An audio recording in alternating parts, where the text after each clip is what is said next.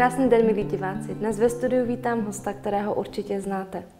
Paní Lili Koustodinovou. Dobrý den. Dobrý den. Vy jste vzděláním politoložka a historička, říkám to správně? Naprosto.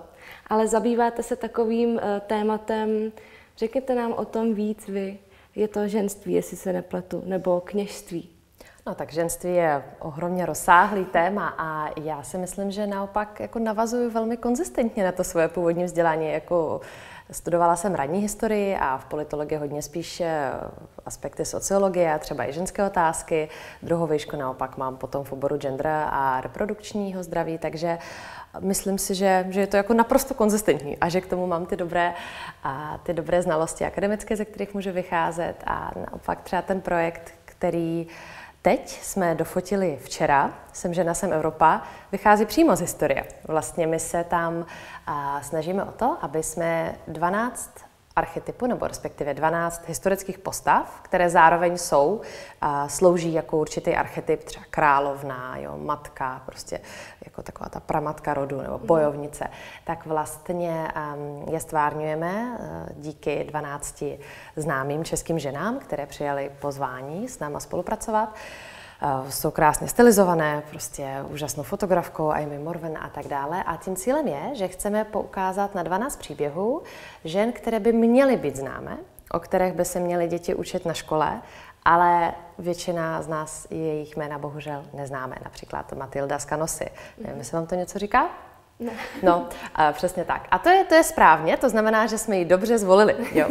A myslím si, že je velmi důležité, aby jsme měli o co se opřít, třeba i v té historii a říct si, wow, tady prostě před náma byly úžasné, odvážné ženy. Všechny ty ženy spojí jeden jmenovatel a to je to, že měli obrovskou odvahu. Vystoupili a vlastně navzdory tomu řádu, nějakým konzervativním konvencím, prošlapávali nové cesty, a přišli s nějakým novým precedentem a myslím si, že tato odvaha být jiná, dělat něco po svým, jo, nebát se eh, jít jako jinou cestou, nežli je ten stereotyp, co jako mám dělat, mm-hmm. že je hodně aktuální dneska. A i ty ženy, co je stvárňují, nám to vlastně potvrzují, že i, i oni, aby se mohli stát ve svém oboru jakoby úspěšný a významný, tak často museli jít proti konvenci, čelili určité kritice. Takže myslím si, že to téma je nadčasové mm-hmm. a zároveň tam na to historii navazuju úplně, úplně přímo. Toto je druhý projekt, Jsem žena, jsem Evropa. Vy jste měla předtím Jsem žena, jsem Eh, bohyně. Říkám to správně? Ano, přesně tak, přesně tak. A loni jsme fotili úplně stejný koncept. A jsme fotili ženy z mytologie, slovanské mytologie. Slovanská mytologie, dle mého názoru, je velice bohatá, je krásná, je tam spoustu zajímavých mužských, ale i ženských archetypů, které bych řekla, že nám stále tak trochu jako chybí. Takže ano, fotili jsme vlastně celý cyklus eh, bohyň a všechny, oba ty projekty, i další kapitoly, pokud budou, tak všechno to jde na charity, vlastně většinou charity žen, které s náma spolupracují.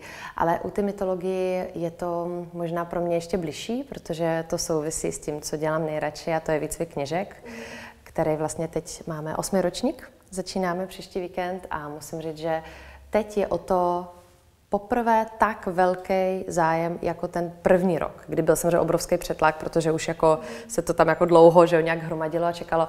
Takže fakt jako cítím, že se to, i cítím, i vidím v číslech, rozrůstá, je to čím dál víc aktuální a řekla bych, že čím dál víc lidí tomu rozumějí. A je jako i mým, mojí velkou touhou, aby jsme dokázali to slovo kněžka nebo ceremonalistka, prostě žena, která vede obřád, demystifikovat, jako očistit od nějakých vulgarismů, které bohužel díky českému termínu knižka lásky se tam tak jako nabízejí, byť s tím vůbec nemá nic společného.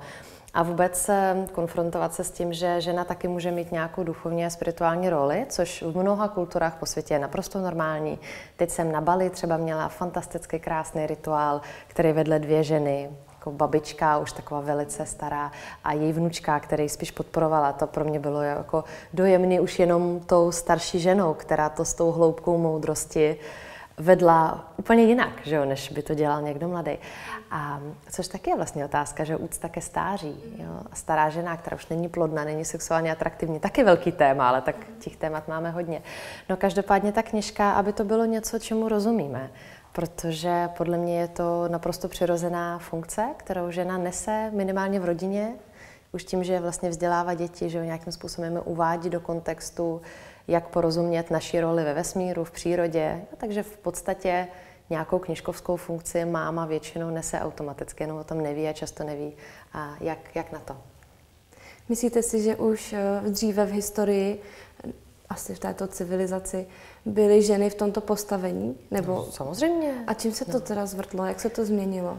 Víme to, máme to podložené, ať už v, jako v ty slovanské, v té keltské kultuře, že jo, což my jsme tak jako na pomezí, jo, kde se to míchá, což je taky zajímavý. A samozřejmě v ty antické, jako řecko-římské, byly knižky, byly ženy, které, které sloužily různými způsoby jako zprostředkovatelka buď rituálu, anebo nějakého kontaktu s božstvím.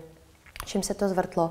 No vlastně i v ranním křesťanství máme, ehm, můžeme polemizovat o tom, že existovaly ženy kněžky i v mnoha více jaksi nechci říkat alternativních. No prostě, když se podíváme na jich Francie, mm. tak tam máme pozůstatky třeba Katáru, že jo, které byly zlikvidovány Vatikánem až o tisíc let později.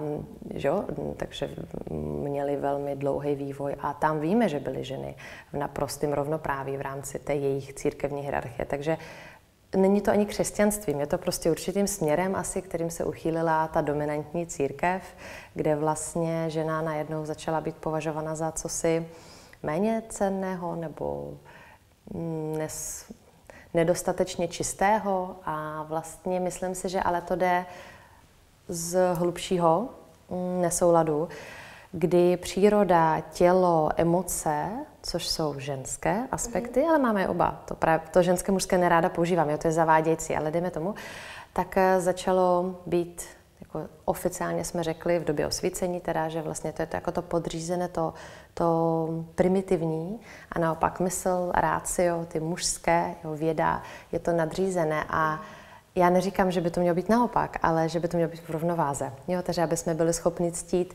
jak to tělo, plodnost, cyklus, přírodu, konec konců ekologie, že jo, to je všechno, to je stejný téma, jak se chováme k tělu, k plodnosti. To není jen o ženách, to je o tom celku. No a aby tohle jsme taky dokázali ctít, tak jak ctíme mysl, rácio, analytické schopnosti. A myslím si, že když je to v symbioze, tak to je to nejsilnější. Stejně tak, jako když muž a žena se milují, tak já věřím, že v tom bodě vzniká úplně to nejposvátnější, co tady vůbec můžeme zažívat.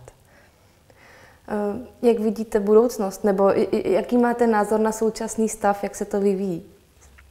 Já jsem docela optimistická. Já myslím, že to bylo důležité, to, co se stalo. Doufám, že to bylo dost. Moje jediná obava je, zdáli náhodou, to nebylo příliš krátké a příliš jednoduché, jako by tady v Čechách, že teď vlastně je taková tendence, tak se budeme vracet do normálu.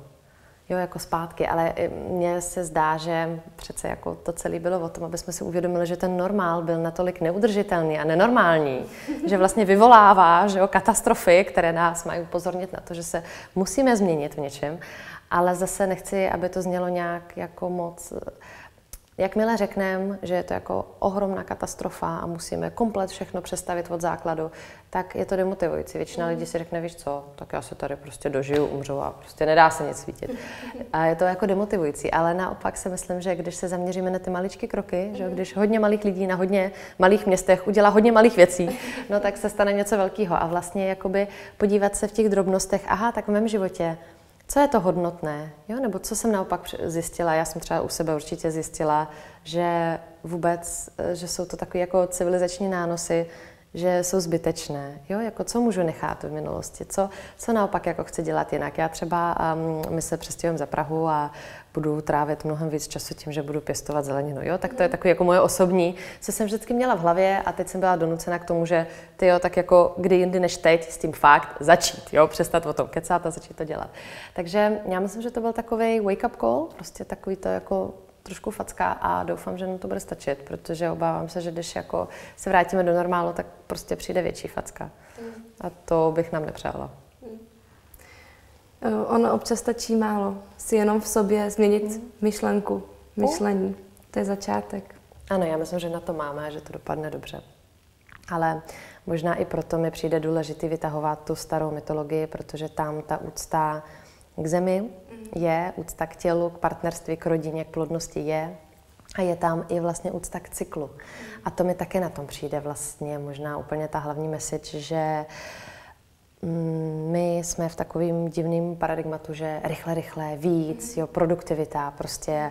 A když už je všechno vyčerpaný, i země, i tělo, tak prostě kafe Red Bull a jedeme dál, jo, ať se nám zvedají tabulky, čísla. A vlastně jako OK, jako kreativní, produktivní, tvořivá fáze, plodná, v tom starém chápání prostě cyklického času taky je.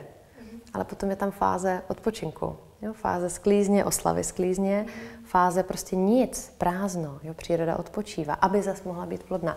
A to podle mě je obrovská moudrost, kterou my nutně potřebujeme tady se znovu uh, zvědomit. Takže i ty kalendáře vlastně vždycky jsou o tom, že my procházíme všema těma podobama, třeba skrz to ženství nebo to historii, a ctíme i to, že OK, ale tady je prostě klid, ticho, jo, nic, zastavení, aby jsme se mohli zase rozběhnout. Není to jenom furt o tom, že běžíme, běžíme dál. Hmm. Místo Red Bullu musíme dobít baterky odpočinkem. Ano, ano, lehnout se v přírodě, chvíli mlčet. Třeba, mm-hmm. jo, že v tichu přichází největší inspirace, mm-hmm. o tom všichni mluvějí, no ale jako je potřeba přestat mluvit, že aby se to stalo. Co si myslíte, že je uh, nejdůležitější změnit? Už jsme se naťukli myšlení, mm-hmm. ale já trošku mířím někam jinam. Uh, v každém jedinci, co, co, co je pro vás nejdůležitější? Nebo co, díky čemu vy jste si uvědomila, co chcete? Nebo jak to chcete jinak? No, podle mě pro většinu lidí ve finále je to hodně podobný. Jakoby, že potřebují někde cítit zázemí lásky a mít možnost tvořit. To je moje přesvědčení. A to zázemí lásky, myslím, že k tomu, tím, jak jsme byli nuceni se vrátit do rodiny, tak eh, že někomu se ta rodina rozpadla, protože přišli na to, že už to dávno vlastně neexistuje, ale někomu naopak hodně posílila, aspoň z těch zpětných vazeb, co já mám, že vlastně jako děti, čas spolu, pozornost, teplo krbu, domov, i ta zahrada, vlastně, že to, jsou, to je takový ten základ. A potom si myslím dál, že člověk potřebuje tvořit a tam ehm, si myslím, že je velmi důležité, aby mohl tvořit svobodně, podle sebe. Jo, to svoje unikátní, ne, že všichni se snažíme se narvat do jedné profese, jo, byť třeba více jak polovině z nás vůbec nevyhovuje, nemáme k tomu předpoklady, protože je prestižní. Mm. Ale vlastně jako jak, um, aby jsme třeba vedli potom děti k tomu, ať se vyberou směr sami, jo, jakoby, mm, to mi přijde takové, vlastně, že v tom je všechno.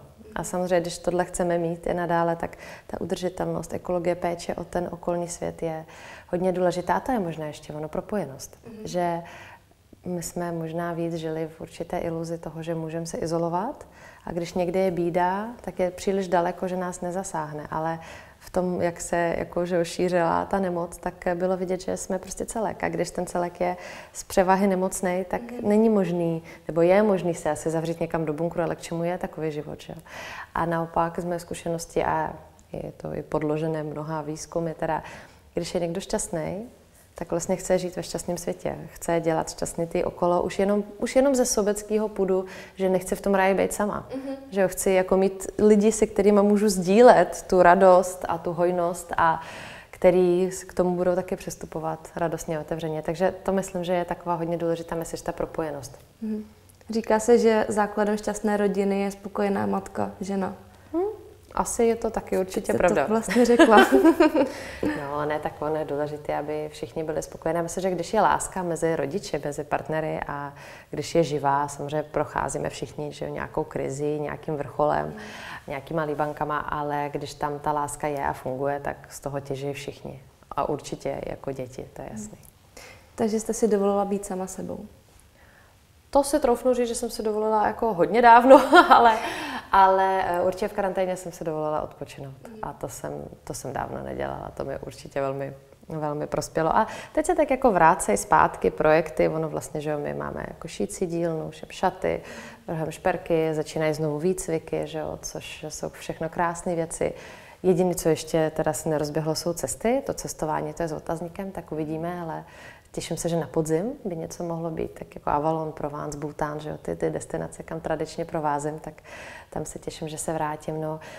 A jinak, co jsem se dovolila, měla jsem konečně čas a začala jsem psát pár uh, knih, které jsem tak jako dlouho měla v záměru, ale nebyl čas, jo, tak vlastně byl čas, tak jsem začala psát, tak z toho mám radost, věřím, že to dotáhnu a obzvlášť ty pohádky pro děti je něco, co, co mě tak jako už dávno vybruje, že je fakt potřeba už jenom proto, abych já měla co číst svým dětem.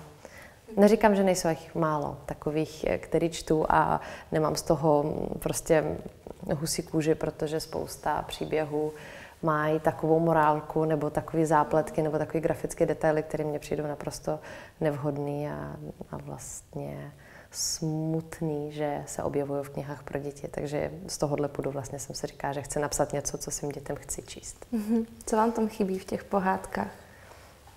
Spoustu věcí. Spoustu věcí určitě i nějaká právě návaznost na tradice, na rituál, jo, na oslavy, na obřady a vlastně zkoušky dospělosti v tom krásném smyslu slova. Jo? Třeba oslava první menstruace, ta naše knížička je taková, že tam ty děti dospívají a končí to právě tím, že z té holčičky a kluka se stává mladá žena, mladý muž a prochází on teda takovým dá se to pojmenovat asi jako vision quest, jako by ten kluk, kdy chvíli tráví sám v přírodě a něco mu dochází, mu je konfrontován se svými strachy, že musí projevit odvahu, slyší zvuky v lese, že neví, jestli ho něco sežere. Pomedituje s kamenama v kamenném kruhu, kde vlastně meditoval jeho táta a dědeček, že jo, takže ta rodová linie. No a u ty holky samozřejmě přechází, že jo, první menstruace a ona vstupuje do pomyslného červeného stanu, ne fyzického, ale jakoby do kruhu dospělých žen, který radí, dávají svoji moudrost, byliny, oslavují vlastně, jakoby dovolují jí prožít ten vstup jako cosi velice pozitivního a jako takovou jako novou krásnou fázi a zdůrazňují ty dary, které to přináší. A samozřejmě pomáhají i k tomu, co s tou bolestí třeba, kdyby ji cítila, jo? nebo jako jak vlastně se s tím fyzicky, jak s tím fyzicky zacházet. Tudíž ty rituály mi chybí hodně. Takové ale ty, které mají konstruktivní účel, jo? což si myslím, že by měl být eh, vždycky záměr rituálu. Co je vůbec rituál, že je takový mystický slovo, ale jsou tři typy. V zásadě buď ty přechodové rituály, sezónní rituály nebo každodenní. Tak ty sezónní jsou jasný, tak jak vlastně slavíme Vánoce, Velikonoce, že jo, tak tam vycházíme vlastně i u těchto svátků z těch prastarých pohanských eh, oslav, ať už keltských nebo slovanských, oni jsou stejný, ty datumy. A, a ty vycházejí eh, z cyklu slunce že jsou naprosto univerzální slunovraty, rovnodennosti a mezi nimi jsou svátky, které oslavují plodnost, jakoby plodný cyklus úrodu a podobně. Že tomu říkáme kolo roku a tam uh, každá ta oslava má určité specifické téma, které souvisí s tím, co se děje v přírodě. A co mě zajímá ještě víc, jsou ty přechodové rituály a tam právě některé zbytky my máme, třeba svatba, že jo. Mm, pro někoho uh, pohřeb ještě a možná pro někoho křtiny ale tam už člověk musí do kostela, což pro spoustu lidí není možné nebo vlastně není, není aktuální. Um, to je hrozně málo. Ono je mnoho dalších okamžiků, kdy náš život vlastně o co jde u přechodových rituálu. To je o to, že náš stav se mění nenávratně. Jo? Prostě když z holčičky se stává plodná mladá žena, tak to je nenávratná změna, která absolutně vlastně jako novej, nová fáze, už se nikdy nemůže vrátit. Jo. Když žena porodí, stane se z ní matka, už taky je to jako nenávratná obrovitánská změna, kdy ona se jako přerodí do něčeho, do nějaké své nové podoby. A v tomhle okamžiku ten přechodový rituál já věřím, že jednak dává jí možnost konfrontovat svůj strach a vlastně posílit své naděje, takže nějaký vnitřní proces, vědomí, prožití toho okamžiku, ale zároveň je tam ta komunitní podpora a uznání. Jo? Určitá ratifikace toho, aha, tak byli jste prostě tady chlapec, holka, teď jste manžele, jo? budeme se k vám chovat jinak vlastně i ta komunitní rovina si myslím, že je tam nesmírně důležitá. Takže vlastně o co my se snažíme jednak pro lidi, kteří třeba nemůžou do kostela, nebo jim nestačí radnice, tak dejme tomu ten svatební rituál udělat fakt jako dle přání. Jo, tak, aby tam měli prostor na všechno, co chtějí. Na sliby, které fakt cítí v srdci, ne, které jsou nadiktovány, na to, aby třeba poděkovali rodičům, aby zaintegrovali děti z předchozích manželství. Jo, to je tak třeba obrovská rovina, co s těma sešívanýma rodinama jo, při svatbě. Takže s tím se dá taky pracovat, aby každý to dítě mělo svoje místo v tom novém systému, aby se necítilo zanedbano. A například my potom nabízíme i rozvodové a rozchodové rituály.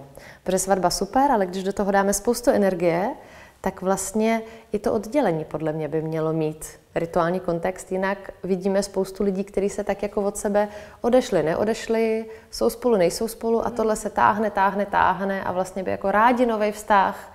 No ale to nejde, když jako jsou pořád upoutany v tom starém. Takže třeba i to, a potom rituály, které souvisí s plodností. Takže tam znovu vlastně podle mě ta, to znovu nalezení úcty k plodnosti, k cyklu, k ženskému tělu, je takový velký téma a to jsou přesně rituál první menstruace, předporodní, poporodní rituál přechodu, což jsou momenty, kdy si myslím, že je ohromně důležité, aby žena byla ctěná, aby to mohla sdílet v nějaké prostě krásné komunitě um, a k tomu patří sdílení příběhu, o čemž vlastně byly že, ty moje první knihy, prostě ženské příběhy, co se týká těla a plodnosti, jsou takové, že na jednu stranu jsou všude, ale vlastně taková ta hluboká opravdová spověď, která je jako real, která jako tam má i ty detaily, které třeba nejsou úplně hezké a i ty třeba katarze, které jsou tak velké, úžasné, orgasmické, že se o tom stydíme mluvit, tak eh, to se těžko hledá. Tak o to jsem se snažila v těch knihách, kde jsem tak jako splétala ženské spovědi o tom, jak to jako doopravdy má. Mhm. Kde jste se inspirovala eh, nejen vašimi projekty, ale kdy byl ten moment, kdy jste si uvědomila, že, že chcete něco víc, že chcete jít do té hloubky, do, do vašeho ženství?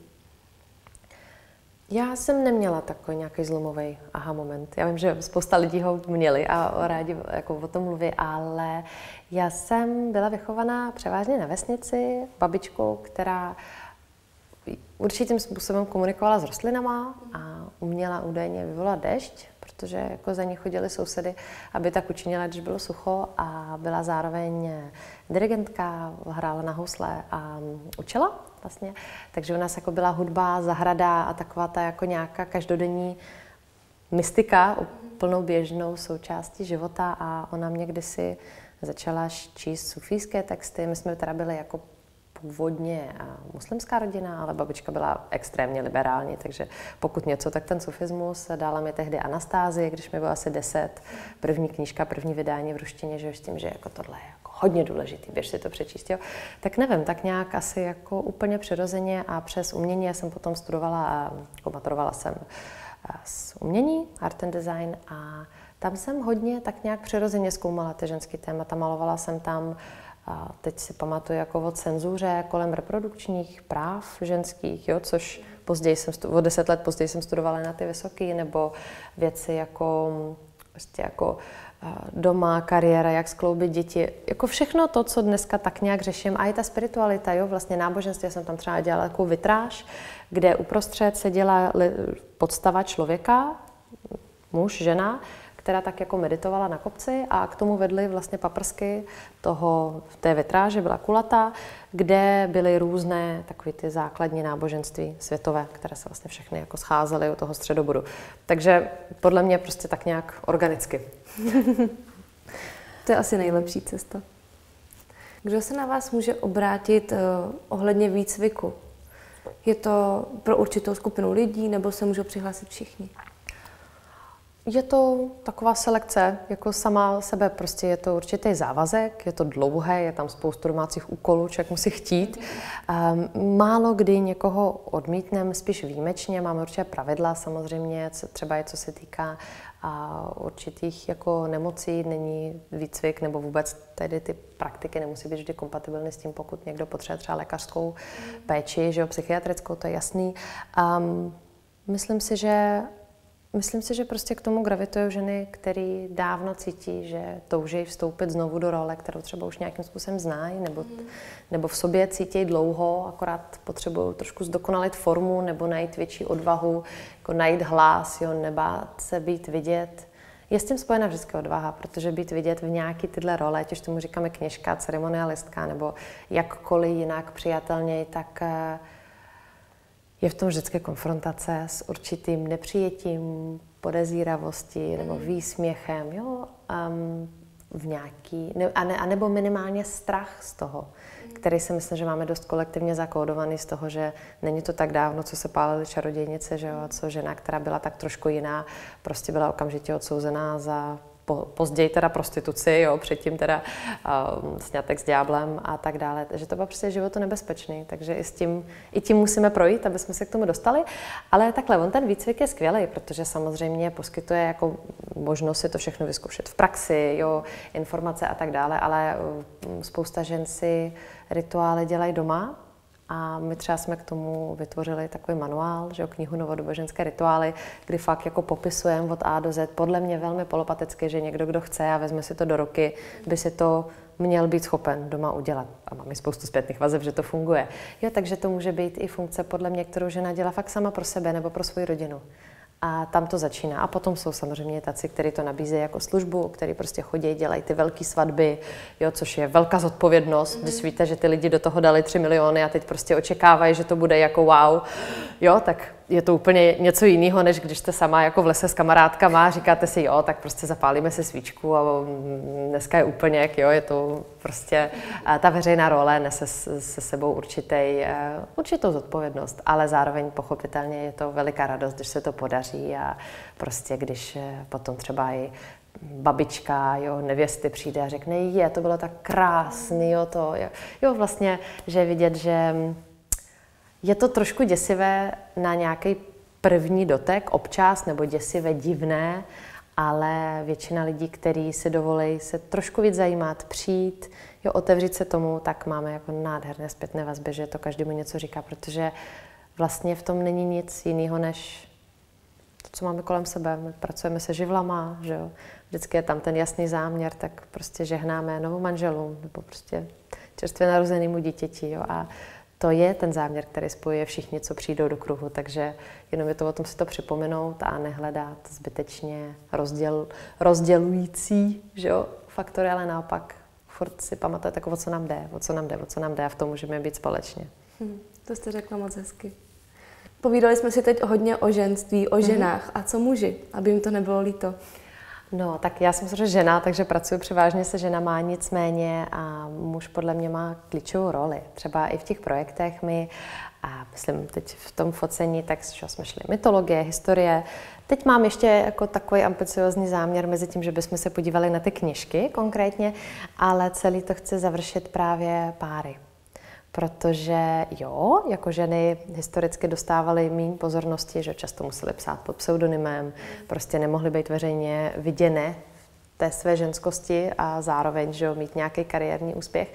Nicméně, když už to uděláme, což mám pocit, že teď jako tam jako svítíme jo, na ty pohyně, na ty historické postavy, tak vlastně celý to chci dovést tam, že se budeme dívat na páry, protože ve finále si myslím, že ať už žena je vědkyně nebo, nebo královna, jo, nebo bohyně, tak ve finále um, láska, rodina je to, co jí dává, nebo to, co nám všem dává ten pocit, uh, že jsme tady správně a že vlastně jakoby to je to gro v tom životě, co nás vyživuje.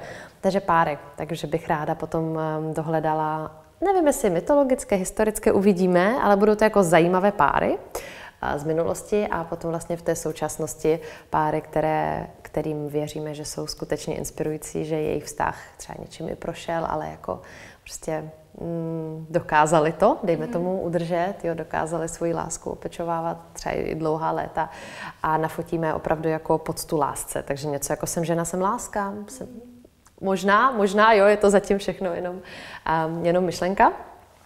A často v souvislosti třeba i s knižkama. Ten, ta otázka vyvstává, co muži, to jako musí být jeptiška, nemůže mít děti.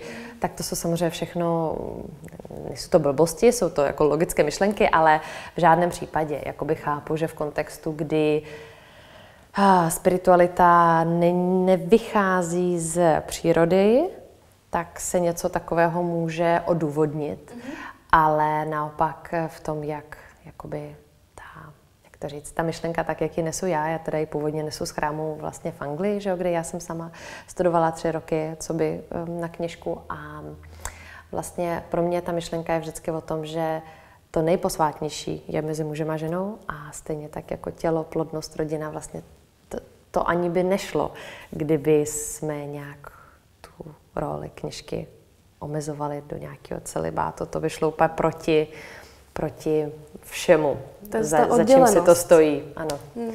Takže určitě, určitě muž k tomu patří a často třeba i děláme to, že máme samozřejmě muže, zveme na oslavy, máme nějaký víkendy, kde to otevíráme mužům našich eh, kněžek a myslím si, že že vlastně vůbec nalezení té rovnováhy, spolupráce a harmonie ve vztahu je takový ten základ úplně všeho.